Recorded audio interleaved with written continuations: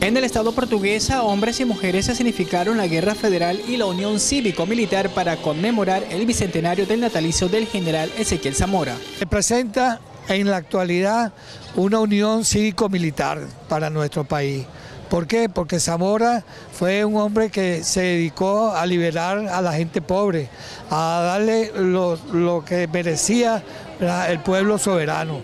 En el bicentenario del natalicio del general Ezequiel Zamora, el pueblo portugueseño este manifiesta que su legado de, tierra y hombres libres sigue más vigente que nunca. En estos últimos tiempos hemos recuperado tierras más de 120 mil hectáreas se han puesto a la orden, a la disposición y hoy en día están en manos de los campesinos organizados, en manos de los campesinos que eh, la están trabajando con sus dificultades, pero ahí estamos avanzando.